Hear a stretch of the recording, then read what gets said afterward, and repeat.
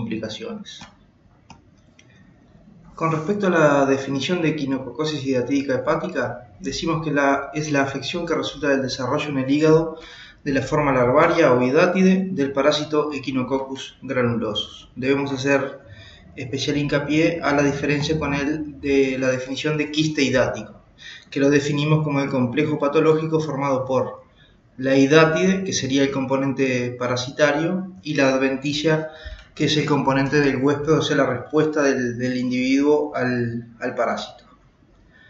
Con respecto a la importancia de este, hidatidosis hepática y sus complicaciones, en nuestro medio es un, es un tema muy importante, este es un gran problema de, salud que por suerte en el correr de los años se ha ido tratando y, contrarrestando la enfermedad, pero de todas maneras sigue siendo un problema de salud. Eh, hay circunstancias que se dan específicamente en nuestro país que favorecen el desarrollo de este parásito y de esta enfermedad, como son el clima y la temperatura que son favorecedoras, los climas templados son favorecedoras para el desarrollo de este, de este parásito. Tenemos eh, también una alta densidad de, ovinos y de caninos y como vamos a ver forman eh, parte fundamental de la epidemiología de esta patología. Eh, por la morbimortalidad que implica el tratamiento de, la hidatidosis hepática y significa importantes gastos a nivel sanitario y genera gran repercusión tanto de la salud humana como animal. Por otro lado, hay cosas este, positivas que debemos destacar sobre este tema, es que eh, debido a que la enfermedad tiene alta prevalencia en nuestro medio, eh, ha sido nuestro país y nuestros médicos y nuestros cirujanos pioneros en lo que tiene que ver con el estudio de esta patología, incluso siendo referencia en el mundo en cuanto a algunos temas específicos este, de esta enfermedad. Y otro aspecto fundamental en cuanto a la profilaxis de la enfermedad, que, no es menor y lo, a lo que mencionábamos al inicio, es que todos este, podemos participar e intentando cortar el ciclo de esta enfermedad y podemos intervenir directamente en las medidas de, de profilaxis, como vamos a ver más adelante. Con respecto a la epidemiología, decimos que esta es una zoonosis de regiones agrícolas ganaderas, como bien, bien sabemos que es nuestro medio. Sin embargo, no deja de, tener la enfermedad una distribución mundial. Está presente prácticamente en todos los continentes, pero sí debemos destacar la alta prevalencia que tiene en Sudamérica y particularmente también en nuestro medio, como vemos en la, en la imagen en el presente diapositiva. Ya lo mencionamos, pero volvemos a recalcar en el impacto socioeconómico significativo, no solo desde el punto de vista sanitario este, a nivel del, humano, sino también este, en las importantes pérdidas que pueden significar este, a nivel ganadero. Continuando con la epidemiología, decimos en Uruguay, esta enfermedad sería de notificación obligatoria, es de notificación obligatoria, pero sí aparece en nuestra bibliografía y también reflejado en nuestra práctica clínica diaria de que hay un claro subregistro de los pacientes afectados por la enfermedad y también hay un subregistro en el sentido de que hay muchos pacientes que pueden ser portadores de la patología y que no lo saben y eso tiene que ver tiene mucho que ver, como vamos a ver más adelante, con eh, que muchas veces no tienen eh, presentación clínica típica al inicio, este, eh, al inicio de la enfermedad y pueden cursar muchas veces asintomáticos. De todas maneras, debemos mencionar que en nuestro medio aproximadamente existe una incidencia de entre 15 y 20 este, pacientes afectos con la enfermedad cada 100.000 habitantes. El sexo masculino se ve, más frecuentemente afectado y a una edad de entre 20 y 50 años, o sea que como ven esto también tiene mucho que ver con la importante este, pérdida, de, sobre todo pensando en la población que afecta, que son pacientes jóvenes y activos habitualmente y hombres el 60% de los quistes hidáticos son hepáticos, o sea que el, hígado como primer filtro este, se lleva el mayor porcentaje eh, en los órganos afectados. Este, los quistes hidáticos hepáticos son únicos en la mayoría de los casos, como ven ahí, en el 80% de los casos se describen como únicos, sin embargo, no debemos desconocer que un 20% aproximadamente de los casos pueden ser múltiples le siguen en frecuencia otros órganos tales como el pulmón, el vaso, el riñón, el hueso y el cerebro. Y también debemos mencionar desde el punto de vista epidemiológico que de cada 10 quistes hidráticos hepáticos derecho, uno es izquierdo y esto tiene que ver sobre todo con que eh, el volumen sanguíneo que se lleva este, el lóbulo derecho hepático es bastante mayor que el lóbulo izquierdo y esto explicaría esta disparidad en la proporción de, tanto en el lóbulo izquierdo como en el derecho. Con respecto a la etiología de la enfermedad, ya habíamos mencionado, esta es una enfermedad parasitaria causada por el elemento de familia Tanidae de la clase Cestoidea. Cestodo implica que tiene un aspecto de cinta, por eso también lo podemos denominar tenia. Esta es una, clase especial de, de, este, minto. Tiene tres segmentos, tiene un escolex o cabeza, que sería el órgano de fijación. A su vez, este, en la cabeza este, el parásito presenta ganchos y ventosas que, como vamos a ver, son fundamentales a la hora de adherirse este, al, aparato digestivo en el hombre. Este, presentan un cuello y una, estróbila con este, varias prolótides, de las cuales lo que debemos destacar es que las más distales son las encargadas de hacer productivo el parásito. Con respecto al género Echinococcus, eh, en América del Sur, este, el único que, encontramos presente es el Echinococcus granuloso, pero hay otras variedades. Respecto al ciclo del parásito, este presenta tres estadios, como vamos a ver, una forma adulta, una forma de huevo y una forma de larva. La forma adulta este, eh, habita habitualmente en el intestino del, del, animal, del perro. El huevo es la forma contaminante y vamos a hacer alguna mención especial en la charla y la larva, que es la forma que afecta este, el, hígado, en este caso, en el humano. Con respecto al ciclo evolutivo del parásito, decíamos que este, tenemos un huésped definitivo, que en este caso eh, lo identificamos al animal, al perro, como huésped definitivo, un huésped intermedio, que serían los animales herbívoros, que funcionarían como huésped intermedio al ingerir los huevos que eh, este, deposita el animal en sus heces, y acá vemos la presencia del hombre que corta este círculo, como ven, este, queda por fuera del círculo patológico de la enfermedad y tiene una participación como huésped accidental. O sea, sí puede contraer y este, infectarse de la enfermedad, pero no puede seguir con el ciclo. Este ciclo se completa cuando los herbívoros este, son, por ejemplo, carneados y el animal, el perro, el huésped definitivo, ingiere de estas vísceras que están este, que están infectadas. Esta es la manera de cerrar el círculo de la enfermedad. Entonces lo más importante en este aspecto es recalcar que el hombre tiene una participación como huésped accidental. En el caso de los huéspedes definitivos, como decíamos, son carnívoros en nuestro medio y, este, vamos a, tener siempre presente el, identificar al perro como este, definitivo, pero este, sabemos de que hay de que hay otras este, especies que también pueden eh, formar parte de la enfermedad, como son eh, a nivel silvestre la, posibilidad de que los lobos, zorros, hienas, leones también puedan formar parte de esta enfermedad. Con respecto a los, a los huéspedes intermediarios, decíamos, son los herbívoros, este, del género ovino, bovino, este, suino también puede estar involucrado, este, y eh, en este caso eh, lo, que van a, lo que van a hacer, eh, van, a presentar es la forma larvaria, o sea, la hidátide. Este, como vemos, eh, se identifica a la oveja como uno de los principales huéspedes intermedios, pero también la presencia de vacunos, cerdo y caballos. El hombre, ya lo habíamos mencionado, es un huésped intermediario de manera accidental. Vamos a hacer algunas menciones especiales a las características que tiene la forma infectante o huevo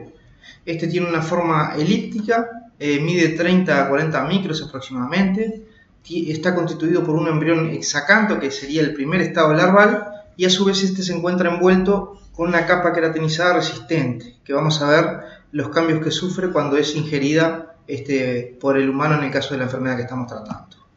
Otras características del huevo de la forma infectante es que son capaces de sobrevivir en condiciones climáticas adversas. Por ejemplo, viven más de un año en ambientes húmedos a temperaturas entre 4 y 15 grados Celsius, o sea que se adapta bastante bien con lo que es la temperatura en nuestro país. Toleran incluso bien temperaturas de hasta 50 grados Celsius.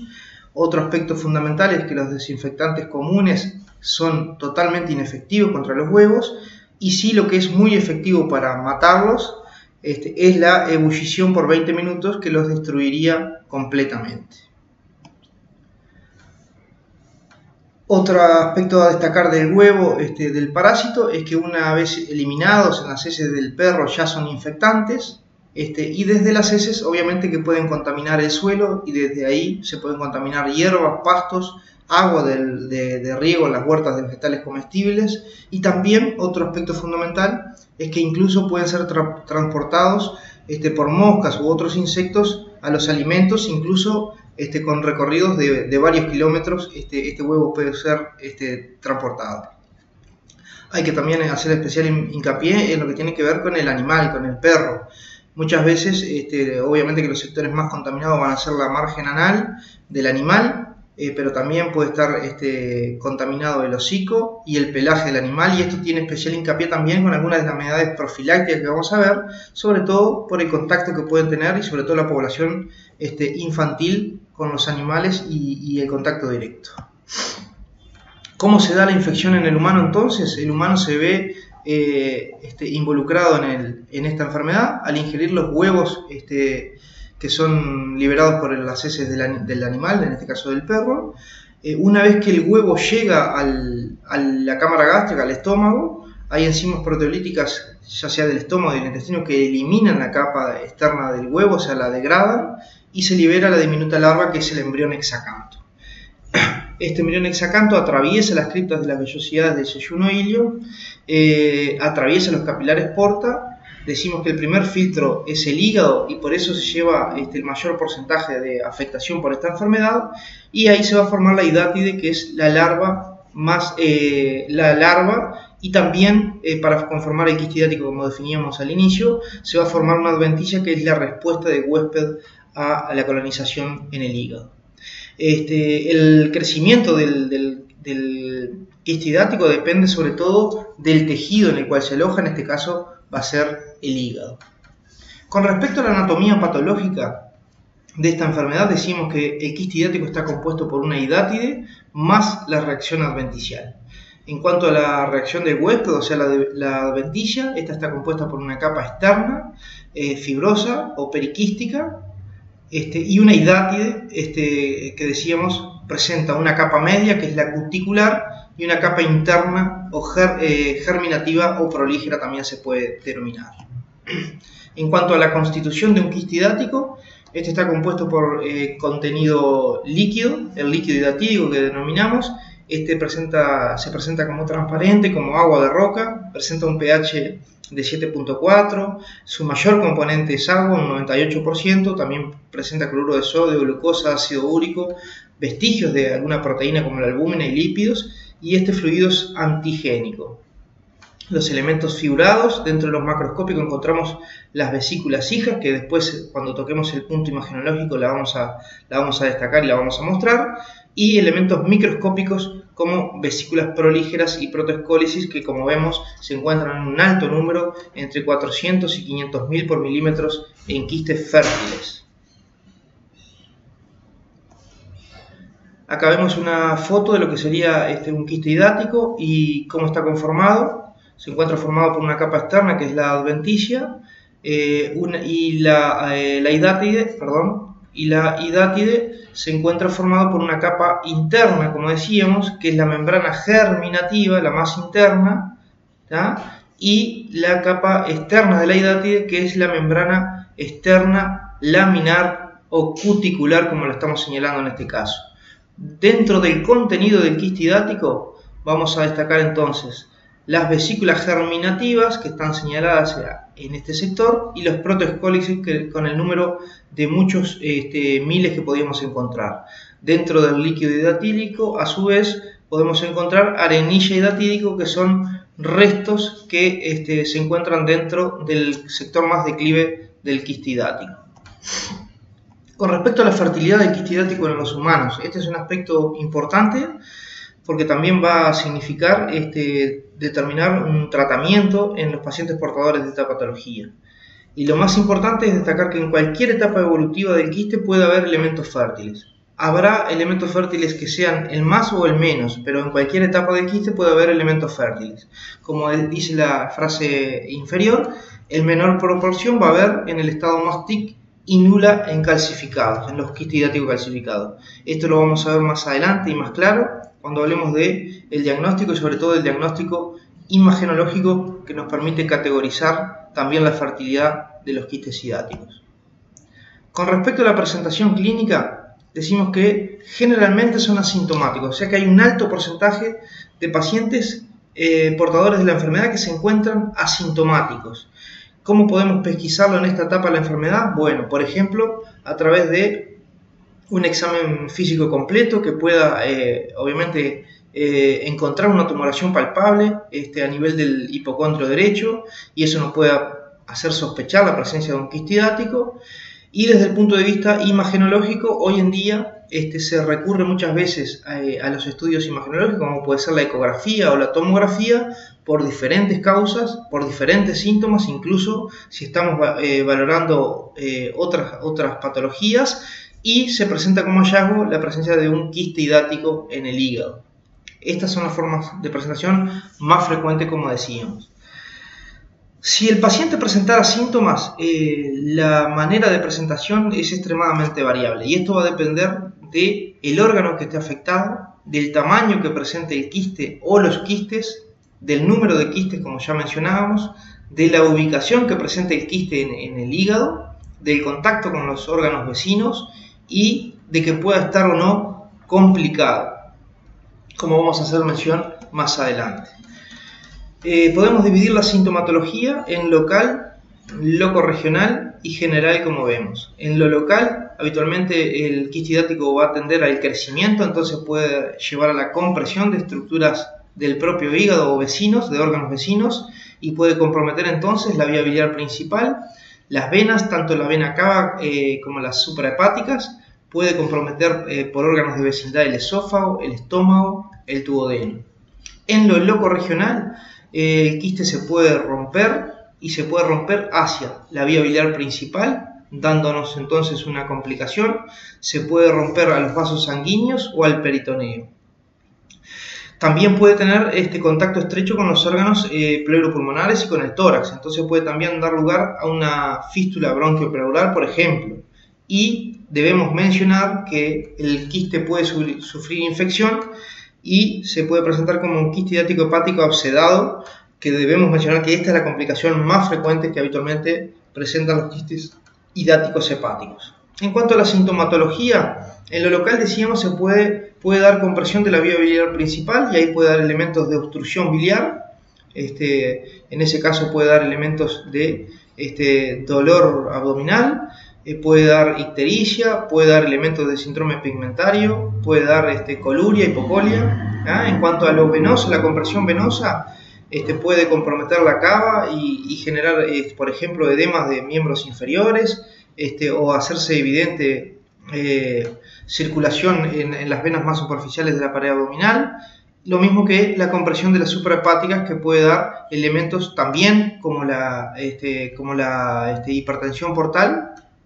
y el síndrome de Buchiari también puede estar presente. Con respecto al esófago al estómago, si bien eh, son poco frecuentes, pero por ejemplo, quistes hidáticos grandes que comprometan prácticamente al lóbulo izquierdo pueden comprometer el estómago y pueden dar sintomatología inespecífica a nivel gástrico o a nivel duodenal o eh, incluso pueden dar un síndrome de estenosis gastrodenal. Como decíamos, son presentaciones bastante atípicas. En lo loco regional, la rotura del quiste puede abrirse eh, a la vía biliar principal y en este caso puede dar elementos de, colangitis. Este, el dolor, ictericia, fiebre pueden estar presentes, eh, de más o menos entidad y de mayor o menor repercusión sobre, el, sobre el, este, el estado general del paciente. Se puede abrir a los vasos sanguíneos de vecindad, estas son causas muy raras este, de presentación y con alta mortalidad incluso, y también puede abrirse al peritoneo. Es más frecuente que se abran al peritoneo los, que, los quistes idiáticos que tienen una adventicia emergente y sobre todo los quistes idiáticos que, tienen, este, que están ubicados en el sector más inferior y como decíamos con una adventicia emergente, abriéndose directamente al peritoneo, pudiendo dar una peritonitis química con siembra peritoneal. También el íntimo contacto con el diafragma y con las estructuras este, torácicas puede dar lugar a, a fístula bronquiopleural y en este caso pueden aparecer síntomas este, del punto de vista abdominal, y también desde el punto de vista respiratorio, como son el dolor torácico tipo puntada o dolor a, nivel del hemitórax este, de, eh, derecho en este caso, o dolor tóraco abdominal derecho, puede haber este, tos, puede haber expectoración, puede haber vómica, este, todos elementos que nos hagan pensar en la presencia de una complicación de un quiste hidático hepático con repercusión a nivel torácico en este caso. Ya mencionamos que la infección del quiste hidático y el quiste hidático oxidado es la complicación más frecuente. Con respecto a la sintomatología general o sistémica, decimos que predominan los síntomas infecciosos. Los pacientes que tienen alguna complicación, como la más frecuente que ya mencionamos, pueden presentar fiebre, pero también los pacientes pueden presentar otros síntomas de repercusión general, como son anorexia y adelgazamiento. Con respecto a las complicaciones, hay complicaciones eh, locales dentro del hígado, entonces en este caso ya las mencionamos, pero son la supuración, apertura y evacuación de las vías biliares con su forma de presentación que ya mencionamos, compresiones de la vía biliar, compresiones vasculares venosas e hipertensión portal, apertura en vena cava inferior o suprapáticas que decíamos mm, bastante infrecuentes, muy infrecuentes, pero con alta este, mortalidad. Las complicaciones regionales en órganos vecinos puede haber complicaciones torácicas, que ya mencionábamos algunas de ellas, complicaciones peritoneales, apertura en vísceras vecinas, compresiones viscerales. Y dentro de las generales, manifestaciones alérgicas y shock anafiláctico. Esta lámina es bastante representativa de lo que son las complicaciones del quiste hepático y están señaladas con, con números. El número 1 correspondería a lo que es una, la complicación más frecuente, que es el quiste hepático absedado o supurado. El número 2 es la rotura y apertura en la, vía, este, la vía biliar principal y lo que decíamos que puede presentarse con un síndrome coledociano eh, y dando clínicamente una colangitis, dolor, ictericia, fiebre. El número 3, como ven, este, eh, sufre una apertura de la emergente, una rotura de la emergente y evacuación al peritoneo con la consiguiente este, peritonitis. El número 4 vemos que se abre directamente en la, cavidad torácica, en la cavidad pleural, este, en íntimo contacto con el diafragma, horadándolo y dando este contacto directamente, tránsito entre lo que es el quistidático hepático ubicado en los segmentos superiores y, este, y puede en este caso darnos sintomatología tanto abdominal como respiratoria, poniéndolo en contacto el quistidático con el espacio pleural y con el parénquima pulmonar o los bronquios directamente, o abrirse los bronquios. El número 5, decíamos, una de las complicaciones más graves, pero por suerte muy poco frecuentes, que es que un quiste hidático se abra en los grandes vasos. En este caso, representado esta, estructura este, representaría la cava o el componente supra, suprahepático. En el número 6 tenemos los síntomas que puede generar cuando un quiste hidático crece y termina comprimiendo, en este caso el ejemplo de comprimiendo la vía biliar principal y también puede dar sintomatología referida a la vía biliar. Y el número 7, comprimiendo los vasos, en este caso, este, comprimiendo lo que sería la vena porta y podría ser perfectamente causa de una hipertensión portal. El número 8 ah, nos pone en la pista de alguna complicación regional, que sería el compromiso, incluso la apertura en órganos de vecindad como puede ser el sector gastrovenal. Esta lámina es, bien representativa de lo que son las complicaciones del quistidático hepático.